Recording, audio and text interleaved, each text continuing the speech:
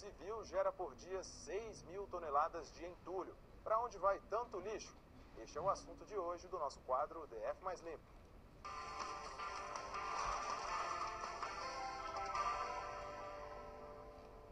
Pois é, boa parte do entulho das obras é jogado em locais proibidos. No DF, há mais de 200 pontos clandestinos.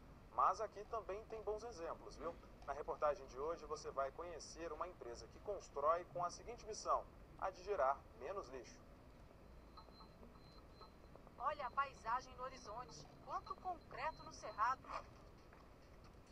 Condomínios, prédios. O jeito é crescer para o alto. Ao lado já não tem espaço. Areia, cerâmica. Caçambas lotadas. Diariamente são geradas 6 mil toneladas de entulho, o lixo da construção certo seria levar os restos de material para o aterro da estrutural. Mas dependendo do trajeto, a viagem pode ser longa. Dá uns 60 quilômetros, indo e voltando.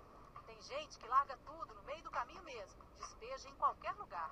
Existem prestadores de serviços que não são comprometidos com a questão ambiental, que cobram um preço menor e fazem o descarte de maneira irregular no ambiente.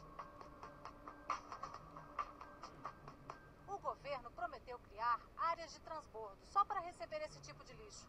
Mas até agora, nada, nem sinal. Resultado: há mais de 200 pontos clandestinos como esse em todo o Distrito Federal. Tem tinta, resina, produtos químicos que poluem. Imagina o impacto ambiental no solo. Se houvesse uma, uma tomada de consciência geral por parte da população, haveria descarte correto de todos os resíduos produzidos pelas pessoas. Falou em consciência. Sejam bem-vindos a esta construção em São Sebastião.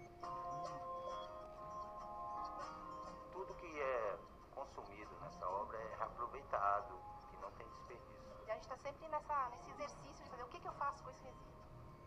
Cada parede foi erguida com este conceito, gerar menos lixo. Seria mais ou menos entre 18 a 20 caçambas, uma construção convencional. Essa construção aqui, ela no máximo vai gerar em torno de 5 caçambas de. Madeira de reflorestamento nas colunas de sustentação. O que sobrou da obra virou balcão, armário, o cano de PVC agora enfeita a parede. Neste outro endereço, no Lago Sul, a estrutura é de bambu. O que sobrou será reaproveitado no paisagismo e imóveis. O material ajuda a manter a temperatura agradável. Então nunca precisa de ar-condicionado. A casa de bambu, aconchegante, sustentável, com a hospitalidade do seu Antônio, dá vontade de ficar por lá mesmo. O bambu traz alegria. Essa é uma coisa bem interessante, eu percebo isso. Tá lindo, eu gosto. tá tá? Obrigado. Passar o fim de semana aqui, por favor. Vontade. Sua. Tudo bem. Não, daquelas não. Não esqueça. Da minha Aquelas calórica. não.